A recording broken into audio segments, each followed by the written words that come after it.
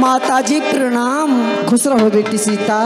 क्या बात है? माता जी मैं आपसे कुछ कहना चाहती हूँ। क्या बात है बेटी सीता? बताओ ना। और लज्जा को कैसे दूरी करूँ?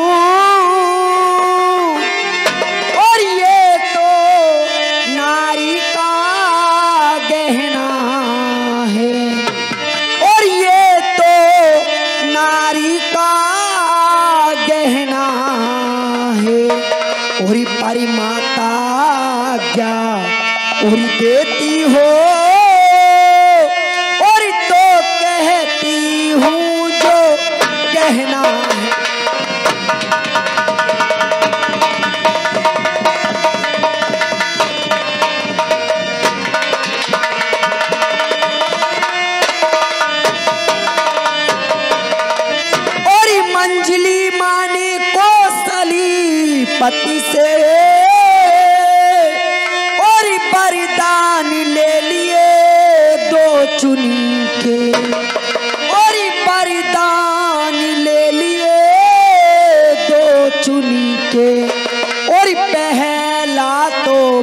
भारती राज का है।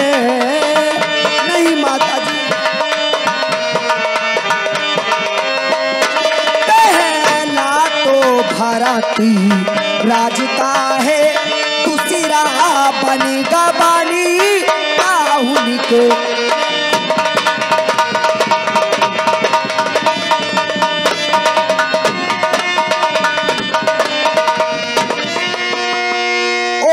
समय धर्म क्या है मेरा?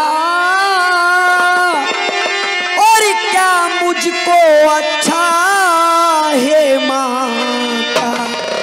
और क्या मुझको अच्छा है माता?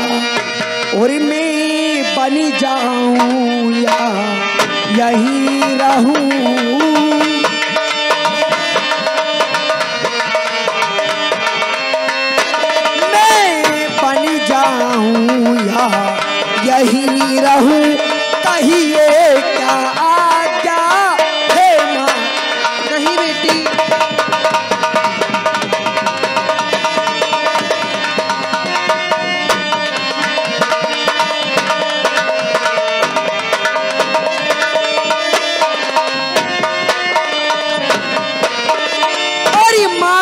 जी के नियाले में और अब मैं आवेदनी लाई हूँ। और अब मैं आवेदनी लाई हूँ। और चौदह वर्षों के और जीवन का और फैसला करनी आई हूँ।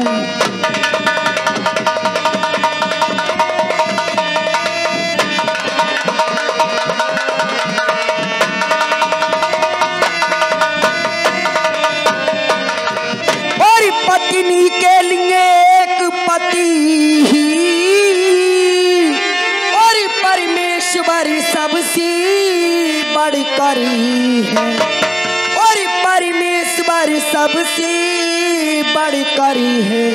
और लेकिन मर्तिबा और सास बहु का और उससे भी ऊपर चढ़ करे हे।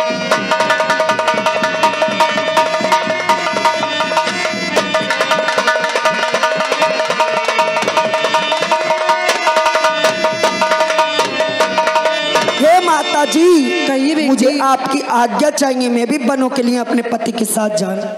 नहीं बेटी सीता, ये तुम कैसी बात कर रही हो? हे बेटी सीता, और तू मुझसे पूछ ही रही, बेटी।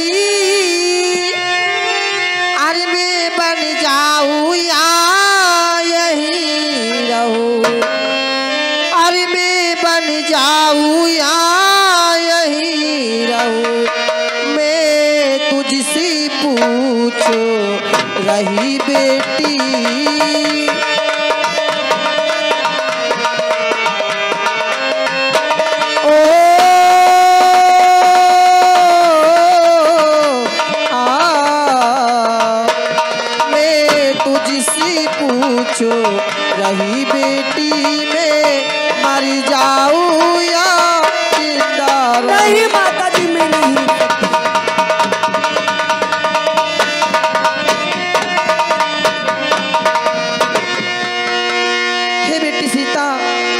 कैसी बात कर रही हो?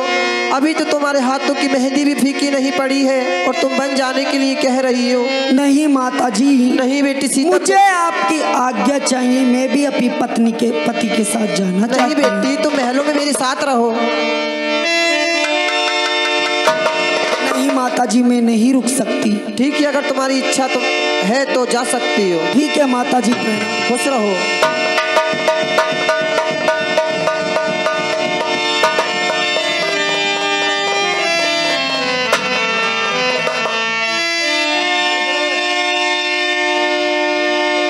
सीते माता जी से आज्ञा ले आई। स्वामी प्रणाम। खुश रहो सीते। मैं माता जी से आज्ञा ले आई स्वामी। ठीक है चलो पिताजी के पास चलते हैं। ठीक है स्वामी चलिए। हे लक्ष्मण जी तुम यहाँ पर बच्चों के साथ में खेल खेल रहे हो।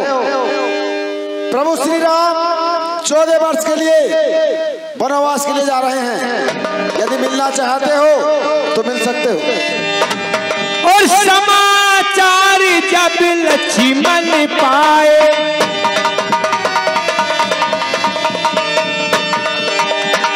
समाचार जब लक्ष्मण पाए। अरे व्याकुल बिलक बदल उठी धाए।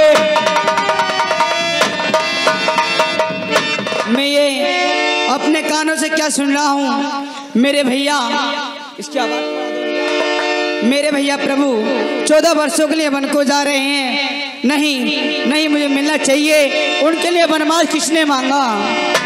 वह कौन मांगने वाली है? जो मांग रही है राज तिलक, अधिकार जिसे है गद्दी का होगा उसको ही आज तिलक। अन्याय अगर होता हो, अन्याय अगर होता हो में संतोष नहीं। बन जाने खूब रही क्यों जाए? जब कोई दोष नहीं, चल के देखना चाहिए।